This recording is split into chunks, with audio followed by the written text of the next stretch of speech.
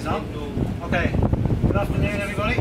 And uh, here I am, Tuna. And we're going to make our uh, zookeeper. But we're going to make a similar one, cheaper. The zookeeper costs like 120 bucks or something, so we're going to make one for under $20. Here we are. Drum. Five gallon drum with a lid. Funnel here.